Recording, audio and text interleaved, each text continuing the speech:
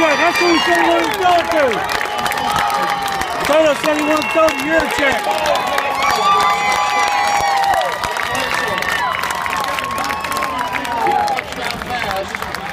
Two yards.